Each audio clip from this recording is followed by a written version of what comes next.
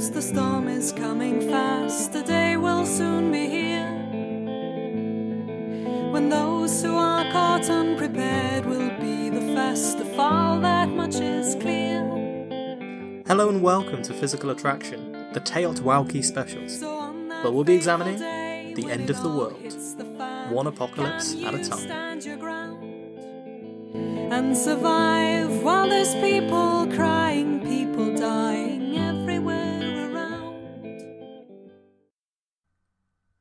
On September 26th, 1983, a man named Stanislav Petrov saved the world. This was the height of the Cold War, and every little diplomatic or military incident that occurred would lead to fevered speculation about the intentions of the global superpowers. The Cold War was a game of chess, except both players had hand grenades, fighting and struggling for slight strategic and tactical advances, even as both sides had the power to utterly annihilate each other. At any moment of any day, hundreds of nuclear missiles were on hair trigger alert, aimed at the major cities of the opposition. One wrong move, one false step, and millions of people would die in hours. Never before in the field of human history had so much rested on the decisions made by so few. As part of the chess game, it was necessary for the two leaders opposing each other to be utterly inscrutable. For the nuclear deterrent to truly be effective, both sides would have to believe that the other was capable of ordering an all out thermonuclear war. It's easy to remember if, like me, you have Western bias, the Soviets being portrayed as a vast machine, unfeeling, cold, uncaring. But equally, the propaganda in the Soviet Union showed the Americans to be irrational and hate filled just as much. Ronald Reagan was president at the time, and he was testing out his psychological operations. US warplanes flew provocatively to the brink of Soviet airspace and turned back only at the last moment. The aim was to test out the Soviet radar capability and exert psychological pressure on the USSR. Yuri Andropov, the aging, paranoid leader of the Soviet Union, was deeply concerned as Reagan began a military build-up. The Strategic Defense Initiative, nicknamed Star Wars, was Reagan's planned space based missile shield. And Andropov was worried that if it was deployed, it would violate the doctrine of mutually assured destruction that had kept both sides safe. After all, why would you need a space based missile shield unless you were planning a first strike? To make matters worse, just three weeks before, the Soviets had shot down a passenger airliner with a US congressman on board, killing 269 people, many of them Americans, who had strayed into Soviet airspace by mistake. Quoting Cold War security expert Bruce Blair, quote, Relations between the great powers had deteriorated to the point where the Soviet Union as a system, not just the Kremlin, not just Soviet leader Andropov, not just the KGB, but as a system, was geared to expect an attack and to retaliate very quickly to it. It was on hair trigger alert. It was very nervous and prone to mistakes and accidents. The Russians were truly convinced that the US was planning a first strike that might attempt to destroy Soviet nuclear capabilities as well as their civilian populations. It was in this febrile atmosphere that Stanislav Petrov, a lieutenant colonel for the Soviets, was on duty at his post. He was monitoring OKO, the Soviet satellite early warning system. His job was simple. He was to warn the Soviet military authorities if there were any incoming US missiles. The response would be a massive retaliatory strike as soon as the warning was detected, as the doctrine of mutually assured destruction insisted. Once the missiles were in the air, the Soviets would have minutes, not hours, to respond. Shortly after midnight, the unthinkable happened. A US missile showed up on the screen. The day that Petrov and his comrades had hoped would never arrive was here. All out nuclear war was about to begin. Moscow, New York, Kiev, Los Angeles, the towers of Leningrad, St. Petersburg, and the White House in Washington, D.C., Big Ben and the Houses of Parliament in London, and the city of Warsaw in Poland, the city that even the Nazi SS could not completely destroy. All of these places would be burned, vaporized, filled with the screams of the dead, dying, and those condemned by radiation poisoning. and then, after the fires had burned, a terrible silence would fall. It was down to Petrov. He had to tell his commanders. He had to give the order. This is what he said of that night. Quote, the siren howled, but I just sat there for a few seconds, staring at the big, backlit red screen with the word launch on it, he says. The system was telling him that the level of reliability of that alert was highest. There could be no doubt. America had launched the missile. A minute later, the siren went off again. The second missile was launched. Then the third, and the fourth, and the fifth. Computers changed their alerts from launch to missile strike. If that night Petrov had followed protocol, you would not be listening to this right now. But instead, he hesitated. The computerized warning system was new, and in those days people had less blind faith in computers than they do now. Nowadays, you can imagine that maybe people would even be willing to turn over the whole system to computers, but uh, in those days, people weren't so sure. Petrov noticed that there were no supporting signals on the radar that confirmed the missiles had been launched. Although waiting for those was risky, it might prevent the USSR from launching its retaliation strike. With only three or four minutes before the missiles hit, how would Petrov know if there was a false alarm or not? But something else didn't make sense to him. What was the logic in launching just one missile, or even five? They were expecting the attack to come, but they were expecting it to be all out.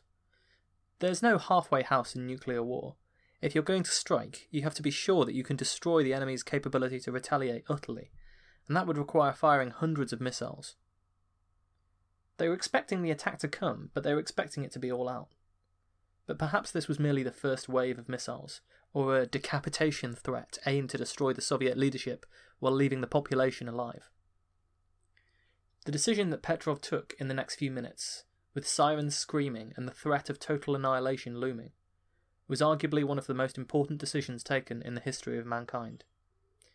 He decided that it was a false alarm and reported a systems malfunction to his high command rather than a missile strike. The next few minutes were the longest of Petrov's life. If he was wrong, the first nuclear warheads would explode over the cities of his countrymen in minutes. But he called it right. It was a false alarm. Stanislav Petrov had just saved the world. He was not rewarded. Petrov later said that the incident exposed embarrassing failures in the missile defense system. And it very nearly did cause the end of civilization as we know it, which is a pretty big embarrassing failure. So, rewarding Petrov would have meant punishing his superiors for the lapses. Instead, the Soviets buried the story.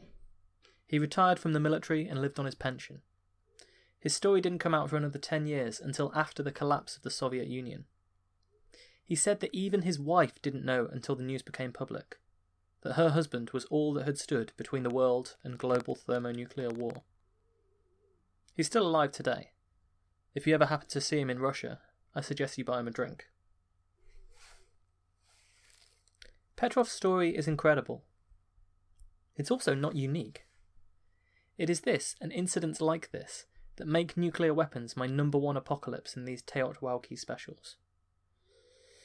More than anything else, more than the natural disasters, more than the unlikely meteorite strikes from outer space, more than the as yet unproven threats from biotechnology and artificial intelligence, nuclear weapons still terrify me. Now, you may very well believe that no rational human beings would ever order a nuclear strike. You may believe this even as you see, in the heightened tensions over North Korea, thousands of civilians petitioning the government to order a nuclear strike. You may well believe in what you call the Pax Atomica, the atomic peace. Since any nuclear armed power using nuclear weapons guarantees their own annihilation, surely no commander would ever order their use. The terrifying truth, though, is that no one has to intentionally order the use of nuclear weapons as a first strike.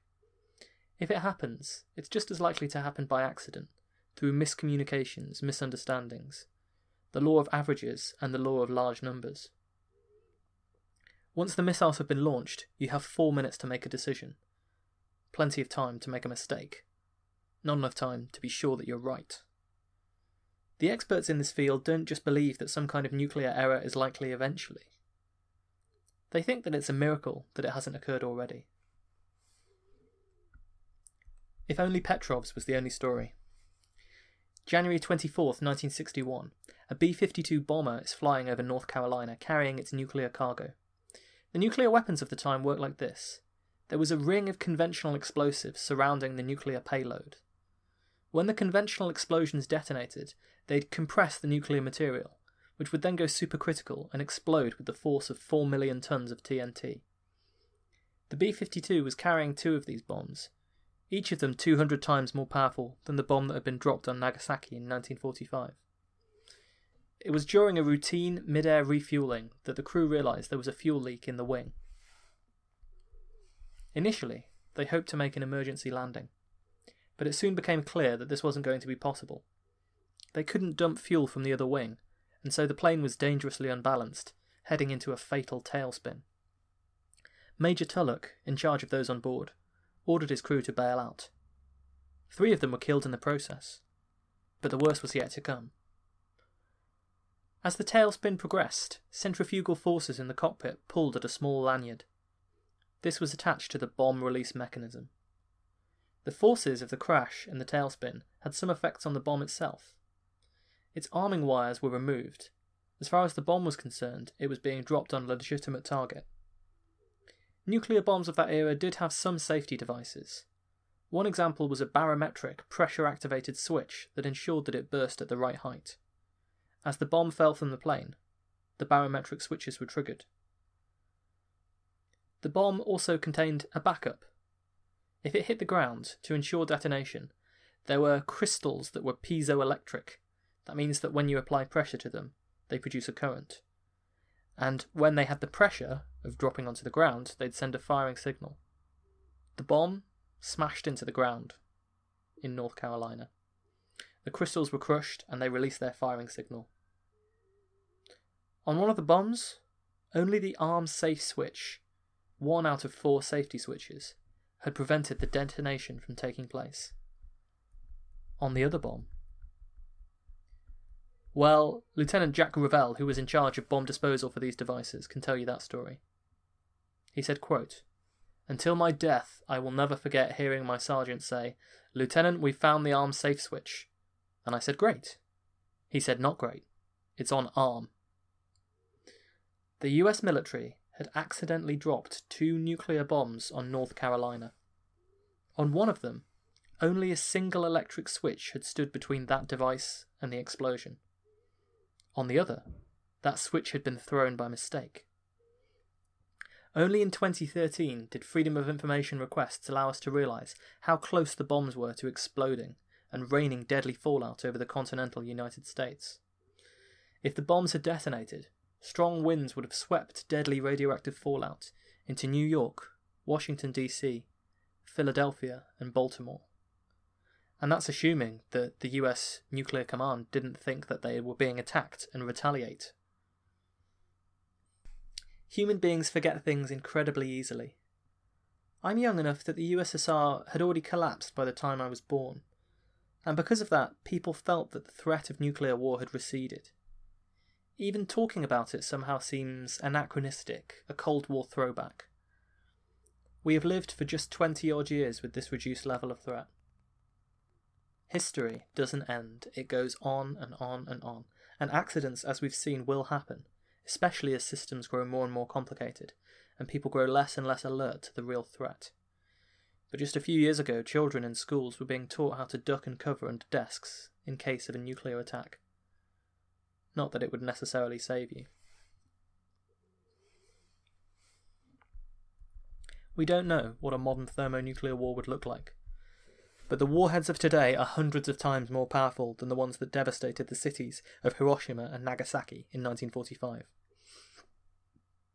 And the accounts from those bombings are horrifying beyond belief by themselves. Dr. Michihiko Hachiya of Hiroshima survived the nuclear bombing, and here's what he said Quote,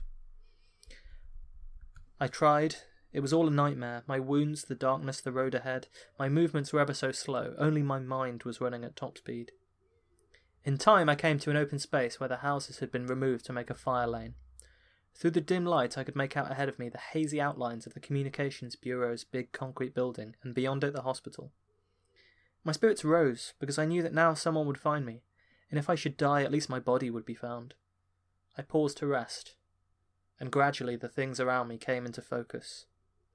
There were the shadowy forms of people, some of whom looked like walking ghosts.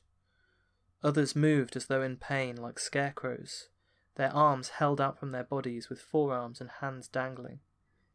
These people puzzled me until I suddenly realized that they had been burned, and they were holding their arms out to prevent the painful friction of raw surfaces rubbing together. A naked woman, carrying a naked baby, came into view. I averted my gaze. Perhaps they'd been in the bath.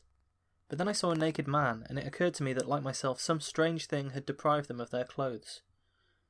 An old woman lay near me with an expression of suffering on her face but she made no sound. Indeed, one thing was common to everyone I saw complete silence. Setsuko Thurlow was only a child when the bomb was dropped. She said, quote, On August 6, 1945, I was a 13 year old grade 8 student at Hiroshima Jogakuin and a member of the Student Mobilization Program. I was one of a group of 30 students assigned to help at the Army headquarters. We were on the second floor of the wooden building about a mile from the hypocenter. That is the center of the nuclear explosion. About to start our first day of work. At 8:15 a.m., I saw a bluish-white flash like a magnesium flare outside the window. I remember the sensation of floating in the air. As I regained consciousness in the total silence and darkness, I realized I was pinned in the ruins of the collapsed building. I could not move. I knew I was faced with death. Strangely, the feeling I had was not panic, but serenity. Gradually, I began to hear my classmates' faint cries for help. Mother, help me. God, help me. Then suddenly, I felt hands touching and loosening the timbers that pinned me. A man's voice said, Don't give up. I'm trying to free you. Keep moving. See the light coming through that opening. Crawl towards it and try to get out. By the time I got out, the ruins were on fire.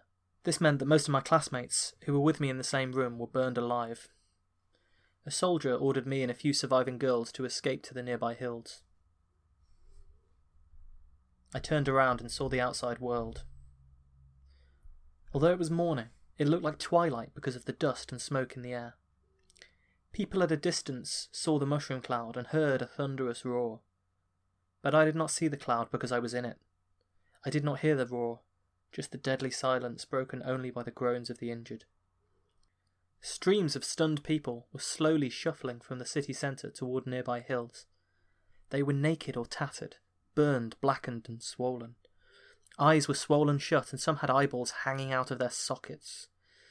They were bleeding, ghostly figures like a slow motion image from an old silent movie. Many held their hands above the level of their hearts to lessen the throbbing pain of their burns. Strips of skin and flesh hung like ribbons from their bones. Often these ghostly figures would collapse in heaps to never rise again. With a few surviving classmates, I joined the procession, carefully stepping over the dead and dying. At the foot of the hill was an army training ground about the size of two football fields. Literally, every bit of it was covered with injured and dying who were desperately begging, often in faint whispers, Water, water, please give me water but we had no containers to carry water. We went to a nearby stream to wash the blood and dirt from our bodies. Then we tore off parts of our clothes, soaked them with water, and we hurried back to hold them to the mouths of the dying who desperately sucked the moisture. We kept busy at this task of giving some comfort to the dying all day.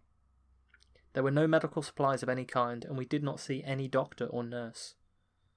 When darkness fell, we sat on the hillside, numbed by the massive scale of death and suffering we had witnessed, watching the entire city burn. In the background were the low, rhythmic whispers from the swollen lips of the ghostly figures, still begging for water. In the centre of the city were some 7,000 to 8,000 students from grades 7 and 8 who had been mobilised from all the high schools in the city to help clear fire lanes. Out in the open, closest to the explosion, which was about one million degrees at the centre of the explosion.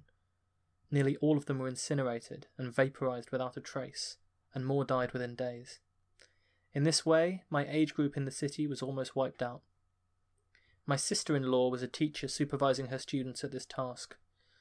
Although my father and I searched for days, turning over dead and burned bodies, we never found her body. She left two little children as orphans. Others were terribly burned, but lived for several days or weeks. My sister and her four year old son were crossing a bridge at the moment of the explosion, and both were horribly burned, blackened and swollen beyond recognition. We could later recognize my sister only by her voice and a unique hairpin in her hair. They lingered for several days without medical care of any kind until death at last released them from their agony. The image of my little nephew, Eiji, representing the innocent children of the world, compels and drives me to continue to speak of Hiroshima, no matter how painful it may be. Soldiers threw their bodies in a ditch, poured on gasoline, and threw a lighted match. They turned the bodies with bamboo poles, saying, The stomach is not burned yet, the head is only half burned. There was I, a thirteen year old girl, standing with my parents, witnessing the most grotesque violation of human dignity on my sister and little nephew, with no tears or other appropriate emotional response. A friend of mine, Miss Sasaki, later told me of returning the next day to where her home had stood and finding the skeletons of her entire family, and not being able to shed any tears. The memories of this kind of behaviour troubled me for many years until I studied the psychological reaction to massive trauma. The unique and mysterious effect of the atomic bomb was radiation, which affected many people. For example, my favourite uncle and aunt were in the suburbs and had no external injuries. But a couple of weeks later, they began feeling sick with the appearance of purple spots on their bodies, nausea and loss of hair, and so forth. We did not know then that the sickness was due to radiation. According to my mother, who cared for them until their deaths, their internal organs seemed to be rotting and dissolving and coming out in a black liquid. Later, we were told that if purple spots appeared on our bodies, this was a sure sign that we would soon die. Every morning, our routine was anxiously to examine our bodies for the dreaded purple spots.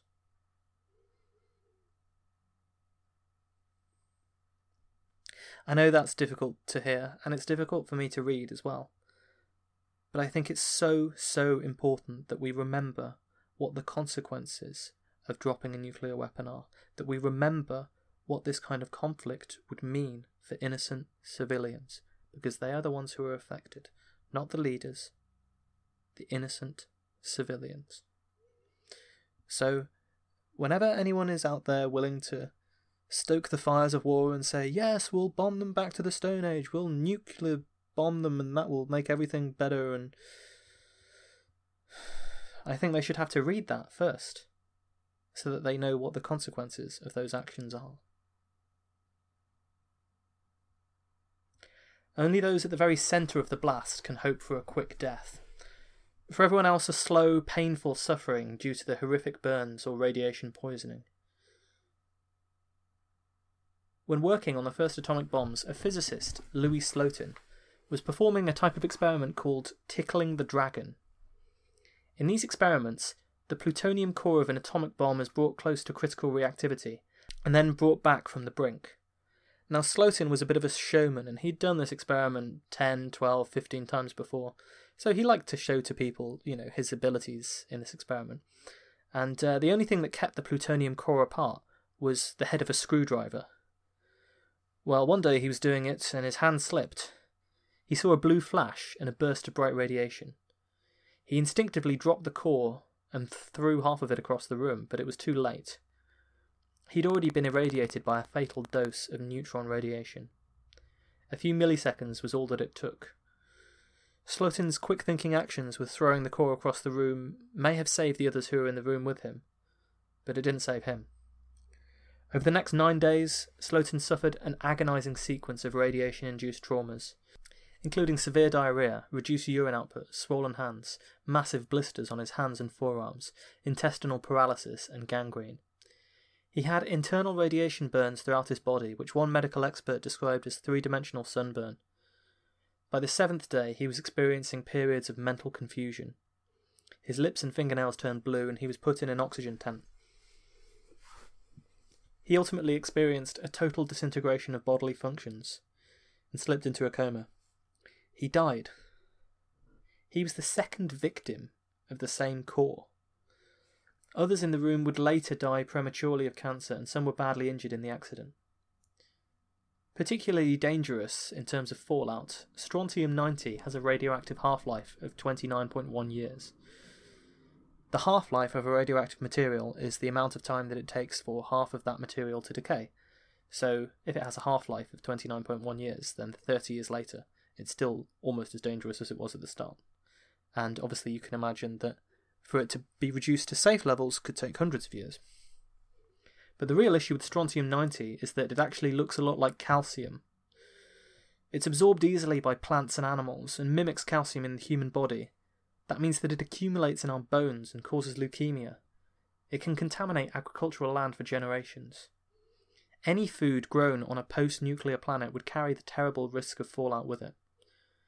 Now imagine this kind of medical crisis extending to thousands of people in every major city of the country you live in.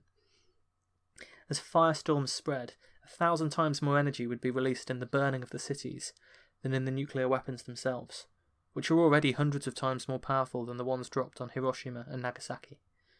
That's the kind of situation we'd be dealing with. Safety issues have dogged nuclear weapons from the very start of their development right to the present day. In his excellent book Command and Control, which is a comprehensive history of nuclear weapons and nuclear errors, Eric Schlosser describes how the US military dealt with one of the first atomic bombs. Quote, Donald Hornig was instructed to babysit the bomb. At 9 pm, Hornig climbed to the top of the 100 foot tower as the rain began to fall. He brought a collection of humorous essays. But his reading was interrupted by the arrival of a violent electrical storm. Atop the tower, in a flimsy metal shed, Hornig sat alone with the book, the fully armed device, the telephone, and a single light bulb dangling from a wire. He was 25 years old and had recently earned a PhD from Harvard. Having designed the X unit that triggered the warhead, he knew better than anyone how easily it could be triggered by static electricity. Whenever he saw a lightning bolt, he'd count the seconds until he heard the thunder. Some of the lightning felt awfully close. The Air Force listed 87 accidents that could have affected nuclear weapons between 1950 and 1957. The Army and the Navy didn't even keep track of the nuclear accidents. In several cases, nuclear weapons actually detonated, except luckily they didn't contain their plutonium cores, so only the preliminary explosion that would have set off the nuclear reaction occurred. This happened in 1950, as a bomb was dumped from a crashing B 36 bomber. On at least four occasions, these detonators fired when the weapons were dropped on removal from aircraft. The carts that used to carry nuclear bombs would break and roll away. In one case, they were perilously close to falling off a steep embankment. Even dropping a nuclear weapon could cause some types of weapon to explode if they had been accidentally armed. B 29 crashed containing a nuclear weapon, luckily without a core, which later detonated in the resulting fire. In one incident, a plane crashed into a storage container containing several nuclear bombs. It sprayed jet fuel everywhere, which quickly ignited. Bomb disposal experts described it as a miracle that one of the explosions wasn't triggered. There are dozens of stories like this from the history of nuclear weapons. We know about most of the US ones. The Soviet ones are less well known to us. And this is just the stuff that has been declassified. As we mentioned, the Petrov story took years to come out, and the 1961 Goldsboro crash that we mentioned earlier that only emerged four years ago. The army did have safety guidelines. For example, they aimed, and remember this is just an aspiration, to reduce the chances of a hydrogen bomb exploding accidentally to just 1 in 10 million. Now, you might think this actually sounds like an acceptable risk, the price of freedom, maybe, until you realise that this means that if 10,000 hydrogen bombs were stored for a decade, then the odds of detonation would be 1 in 10,000 and if the bombs were removed from storage and flown in airplanes, as they regularly were, as we know, the odds increase to 1 in 5. That's the upper limit. That's the aim for safety 1 in 5. When the US and Soviet nuclear arsenals and the readiness to respond depended on these planes, it was a miracle that there wasn't a nuclear error. Well, of course, as you would expect for number one on our list of TEOTWAWKIs, this has been particularly cheerful. Next episode, we'll continue our story of nuclear weapons, and we'll talk about the strategies that humans have developed to try and deal with these new deadly weapons. We'll talk about where we are today with nuclear weapon safety, and perhaps the time when nuclear war came closest to happening the Cuban Missile Crisis. I hope you've enjoyed this episode, if enjoyed is indeed the right word. We're getting towards the end of our TEOTWAWKI specials, at least in terms of the countdown. There's lots of interesting stuff about failed predictions, alien attacks, and the psychology of nuclear weapons and the end of the world that I want to talk about in future episodes. So we're going to continue on this for a little bit longer. In the meantime, if you have any questions, comments, or concerns, hit us up on Twitter at PhysicsPod. I've been putting the scripts from old episodes up on Medium, uh, which is a blogging website, I suppose.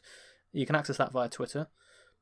Also on our Twitter, you'll find a link to the PayPal donations. This is all done completely for free, as you know, and uh, we have hosting costs, and I spend my time doing it and read lots of books and so on. Although it's fascinating, if you want to thank me for the free entertainment that you've got, that would be a lovely way to do it. And if you don't want to thank me like that, the best thing you can do is tell as many of your friends as you possibly can about this show and the dangers of the end of the world. Uh, I'll be with you in a fortnight. Until then, stay safe.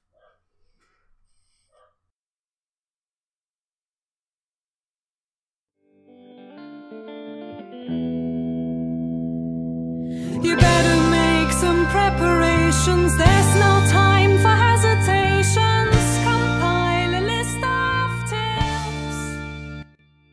Our theme music is Get Ready for the Apocalypse by Astrometrics.